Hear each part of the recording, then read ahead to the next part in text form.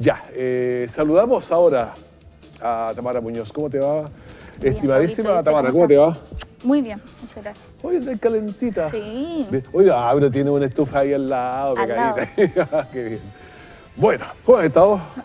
Aquí estamos combatiendo el frío, pero con la estufa es mucho mejor. No, se pasó mucho rapidito. Oye, ¿cómo están las insuficiencias renales? Sí, hoy día vamos a hablar de la insuficiencia renal.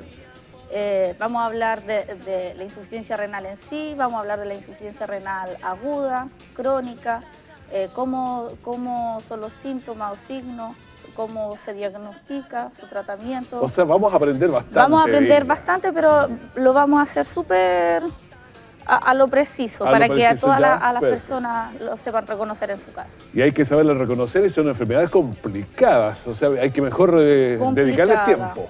Sí. Eh, esto pasa, por ejemplo, la- a ver, primero, ¿qué es la insuficiencia renal? Ya, Es cuando tenemos un problema físico en el riñón, ya. ¿ya? Eh, o, o tenemos una, una baja en la función de la, del riñón. Sabemos que el riñón eh, elimina toxinas a través de la, de la orina, que elimina exceso de líquido, que metaboliza las proteínas que encontramos de origen, bueno, de origen animal y vegetal en realidad. Eh, también sabemos que el riñón de repente metaboliza algunos medicamentos, ayuda también que mantiene fuerte nuestros huesitos. Hay que cuidar los riñones. Hay que cuidar riñones. mucho los riñones. Eso sería insuficiencia renal, Ya. una déficit en la función o alguna, algún déficit físico en el riñón. Ya. Ahora, de- eh, cuando hablamos de insuficiencia renal aguda, por ejemplo, podría ser, eh, no sé, a ver, a causa de alguna anemia, a causa de alguna deshidratación, que lo podemos reconocer, por ejemplo, en la- eh, porque también metaboliza los glóbulos rojos. Entonces, eh, por ejemplo, podríamos ver eh, desvanecimiento, cansancio por la deshidratación. Em, en general, la diferencia entre insuficiencia renal aguda y crónica es la cantidad de tiempo que se manifiesta esta. Por, por ejemplo, la insuficiencia renal aguda es reversible. ¿Qué quiere decir esto? Que con un buen tratamiento po- podemos volver a la condición normal del riñón.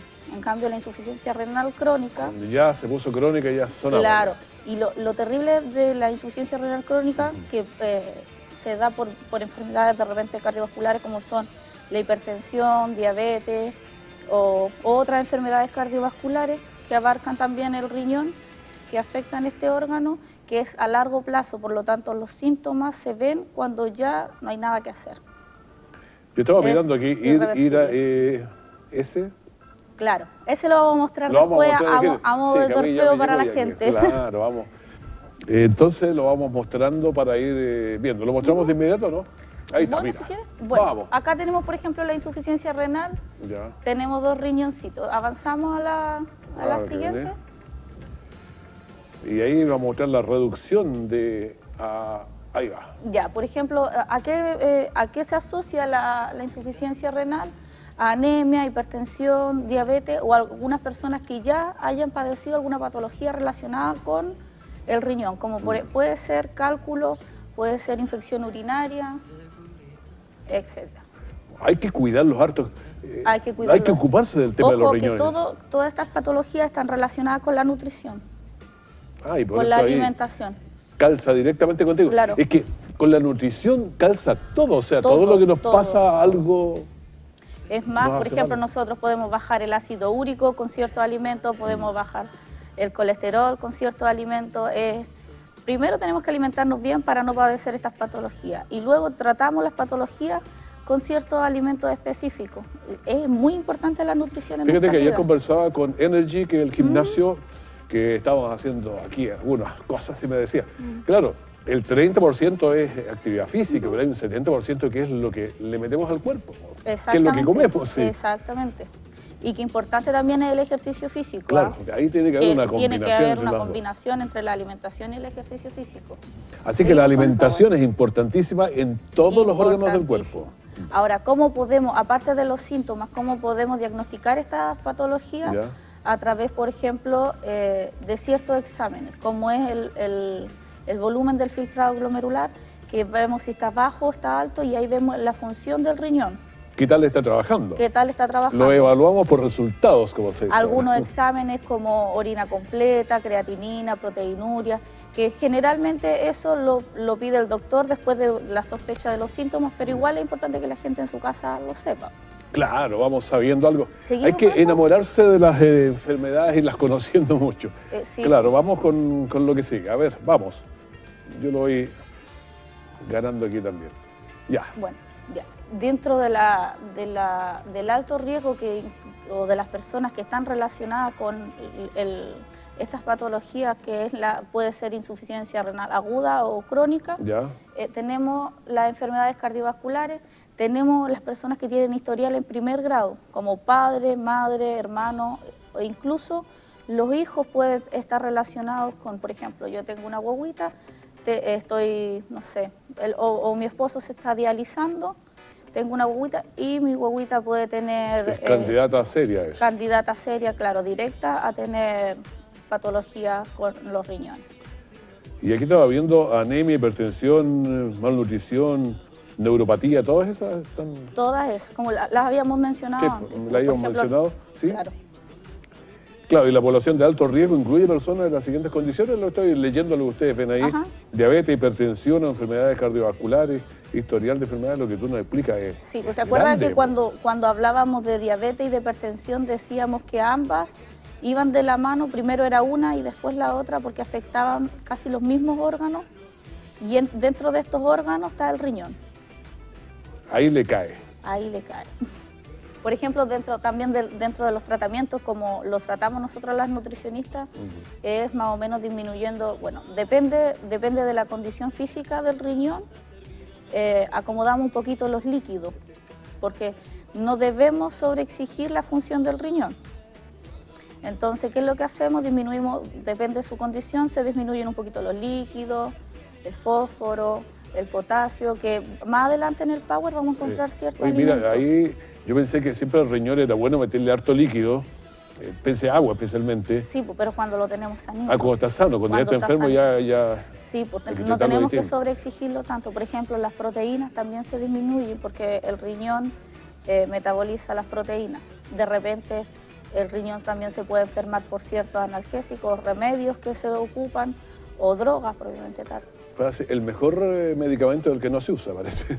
Porque siempre te hace mal para algo. Y yo creo que todo en exceso hace mal en realidad. Claro, es que de pronto uno mejora una cosa, el resfrío, sí, pero echa a perder otras cosas. Entonces, pues cuando se puede, por eso que automedicamentarse es, muy riesgo. Yo en realidad prefiero, bueno, ¿sí? Tenemos que de repente eh, consumir remedios, pero eh, ir más a lo más natural. Así como, por ejemplo, entre los alimentos, eh, preferir aquellos que se cultivan o aquellos alimentos que se preparan en la casa antes de lo industrializado, en los remedios es casi lo mismo.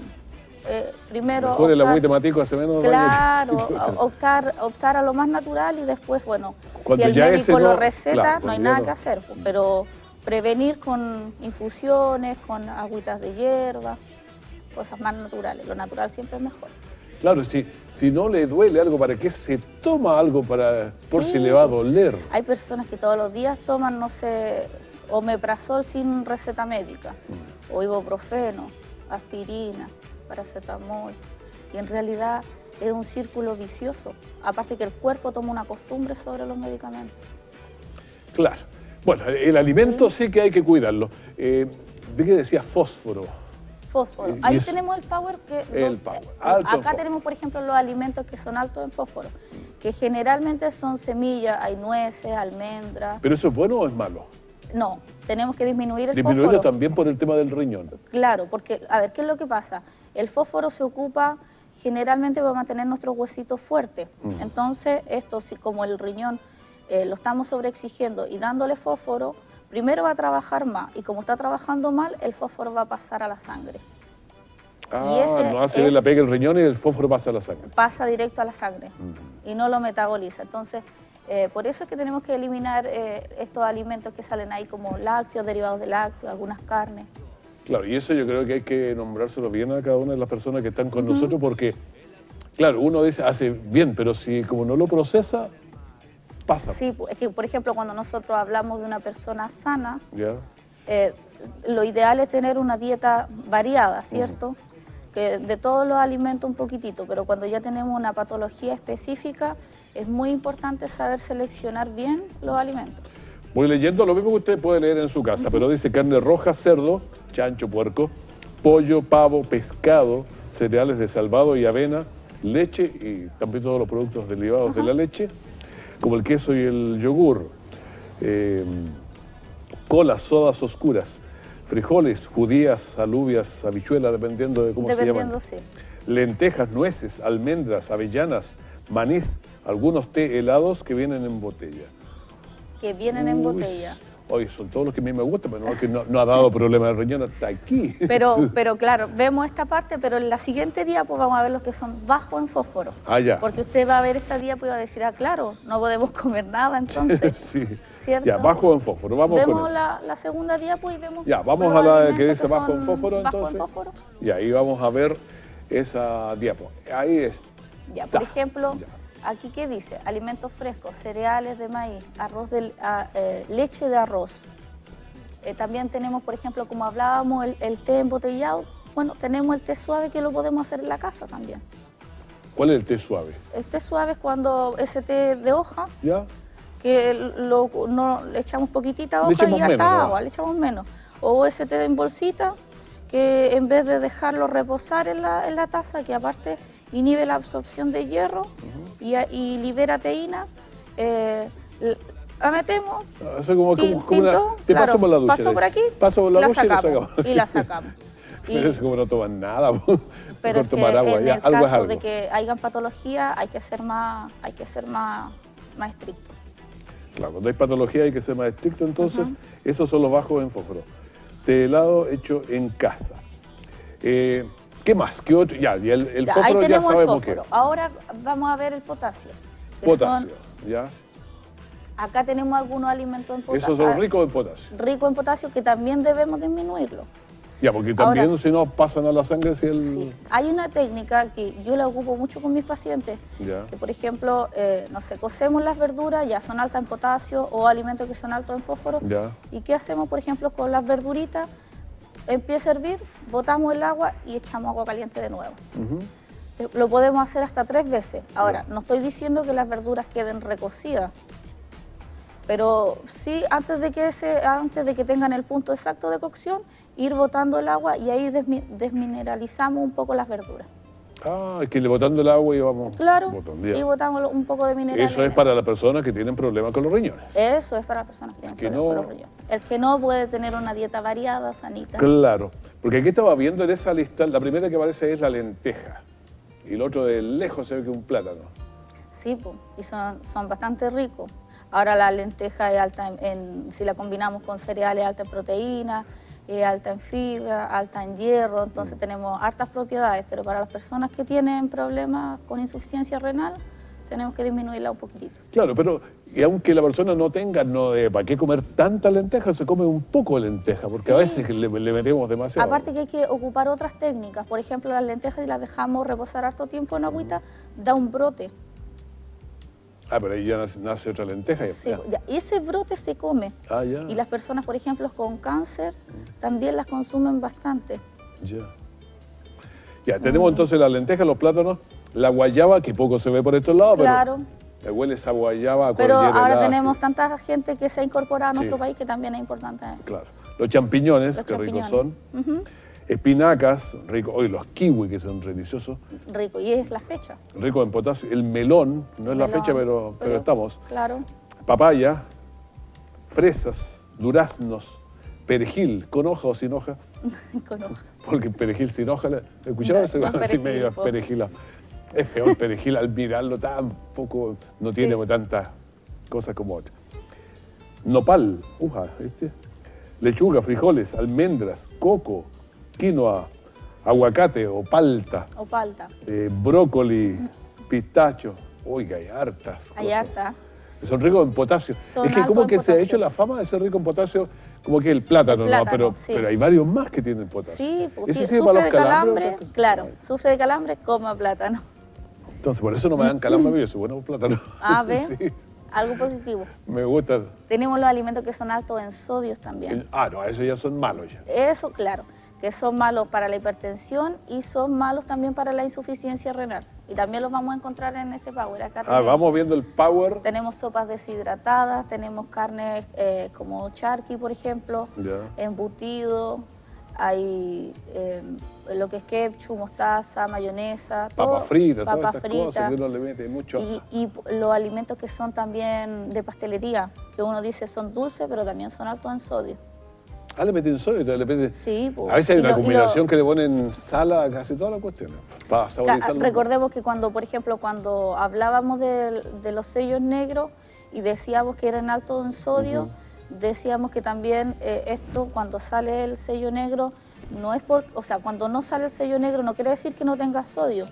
Es que no tiene la, Es que- el- la cantidad que, que el Claro, límite, ¿o ¿no? ¿Eso? claro, que no excede la cantidad No, establecida. si tiene que tener 50, si tiene 48, no tiene, pero, pero Claro, tiene. Pero tiene igual, claro, pero tiene igual. Pero el sodio, esta cosa de sal, está por todos lados, le meten a todo. A todo, es que es un preservante, Mm. es que es un preservante. Y el sabor Ahora- también es rico la sal, pues, o sea, Sí, pues resalta, sal, resalta ¿no? los sabores. Pero sabe, yo siento que cuando las personas se acostumbran a comer sin sal, después la sal les molesta.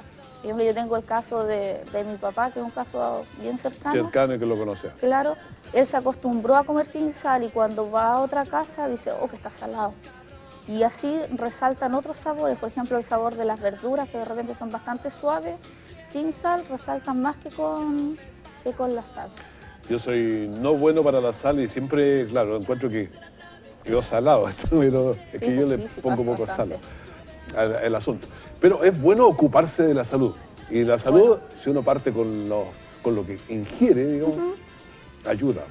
Sí, pues bastante. Hay que, hay que, yo creo que la clave para tener una buena salud, aparte del ejercicio, alimentarse bien y tomar opciones de vida eh, Saludable. saludables, es educarse, saber más. Por ejemplo, ya, a lo mejor usted no tiene insuficiencia renal, ¿cierto? Pero nunca está de más leer y saber cuáles son los alimentos que influyen. Y por eso estoy poniendo tanta atención. Y por eso estoy poniendo tanta atención. Hay que ponerle atención y aprender de leer de el todo. etiquetado nutricional de los alimentos, y compararlo. Por ejemplo, de repente no el alimento más caro es el más saludable. Y que, que importante es hacer la, la comparación, porque yo de repente, no sé, voy, no voy a dar marcas porque no quiero perjudicar a nadie, pero veo, algunos veo marcas que son caras, que son súper conocidas, que son muy habituales en las casas, y veo marcas de supermercado que son más baratas, y las comparo y yo digo, pero si esto es lo mismo, y eh, al final ahorramos con el bolsillo y nos alimentamos bien también.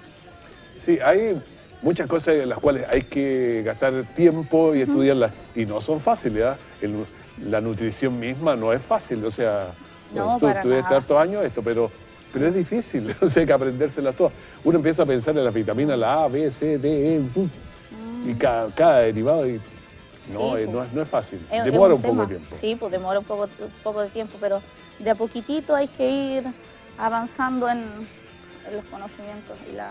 Oye, Tamara, ¿el, el agua hace bien para tomar agua, hace bien para los riñones y para otras cosas?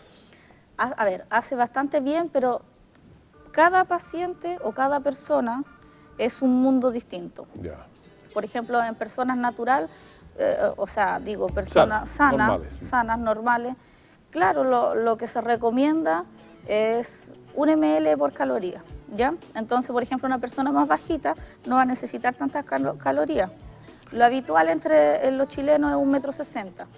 Entonces, por ejemplo, para una mujer son 1.600, 1.700 calorías, sería un litro y medio aproximadamente. Yo estoy en más de dos litros.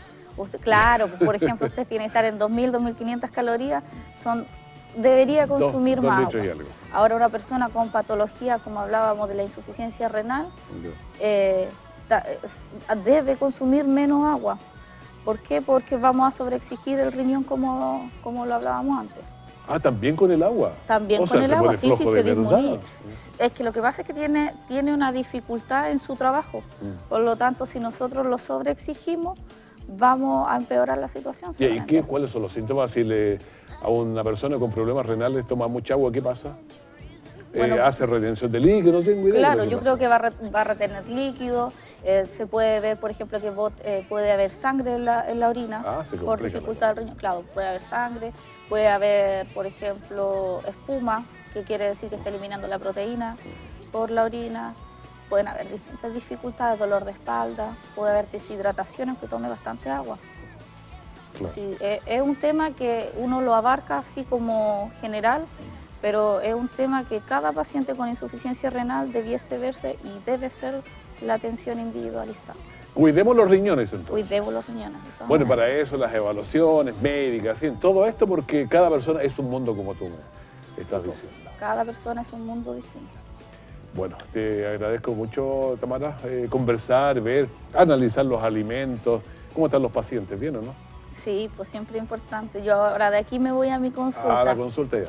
Sí. ¿A dónde te vas? ¿Cuál es la dirección? Cuéntanos. Ah, bueno, mi consulta queda en Mario Dueña, 508, se llama C-Medic. Es un centro médico en donde pueden encontrar eh, una variedad de especialistas, no hay solo nutricionistas, hay bastantes especialistas y muy buenos. Entonces, Mario Dueñas, 508. 508, Ahí está. ahí está. Tamara, te agradezco mucho que hayas venido a estar aquí en estos días un tanto helados. Tanto bastante helado, sí. Sí, pero hoy día, hoy día, Hoy día cambia. Hay solcito. Ay, solcito. Y eso que entramos recién al invierno ayer. Hoy día, pues, 21. Hoy día, hoy día 21. Oh, 21, que estoy 21. perdida. Hoy día. Sí, pero es que esto de entrar al invierno, es que uno, es el día punto máximo cuando el sol llega al trópico de cáncer allá, pero ahí yo siempre pienso, de aquí ya empieza la vuelta. Es como Sí. llegar hasta el fondo del pozo, Sí. ahí estamos. O no, no, pero no. ahí empezamos a salir de poquito, nos demoramos en salir, pero vamos saliendo. No nos hemos dado ni cuenta y ya vamos a empezar las vacaciones de invierno, casi, de los niños, sí. Cierto. Oye, el tiempo pasa y pasa, Pasa demasiado rápido. Lo importante es que no se Uno note en aguanta, el otro, nosotros. el otro, el otro. Ya, que estés súper bien. Gracias, Nos estamos pues, a viendo. ustedes.